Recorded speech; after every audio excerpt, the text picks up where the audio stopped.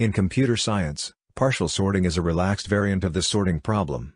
Total sorting is the problem of returning a list of items such that its elements all appear in order, while partial sorting is returning a list of the k smallest, or k largest, elements in order.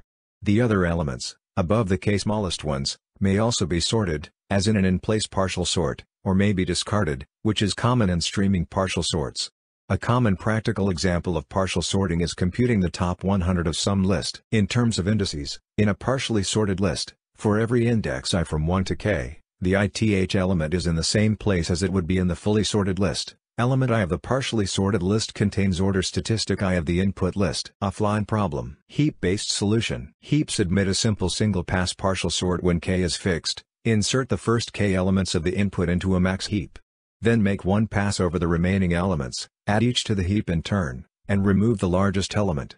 Each insertion operation takes O log k, time, resulting in O n log k, time overall. This algorithm is practical for small values of k and in online settings.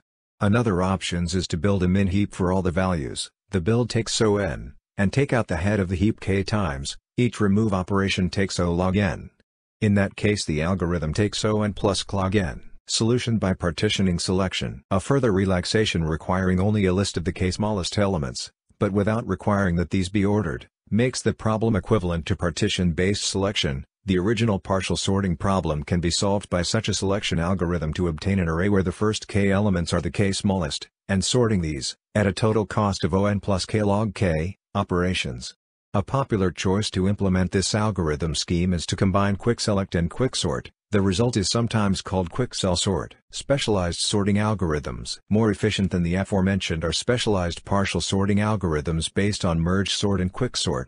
In the quicksort variant, there is no need to recursively sort partitions which only contain elements that would fall after the kth place in the final sorted array, starting from the left boundary.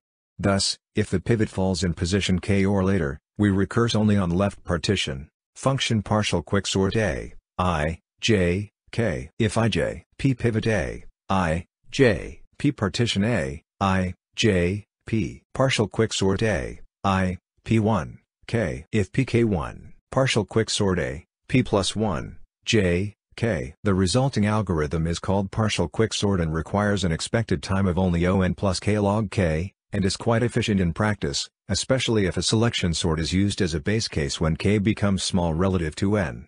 However, the worst-case time complexity is still very bad, in the case of a bad pivot selection.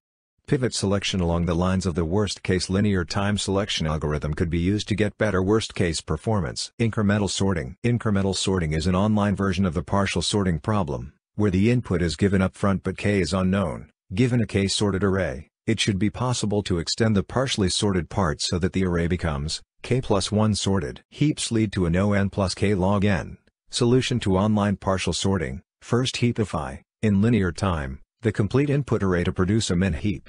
Then extract the minimum of the heap k times. An asymptotically faster incremental sort can be obtained by modifying quick select. The version due to Paredes and Navarro maintains a stack of pivots across calls, so that incremental sorting can be accomplished by repeatedly requesting the smallest item of an array A from the following algorithm. The stack S is initialized to contain only the length n of A.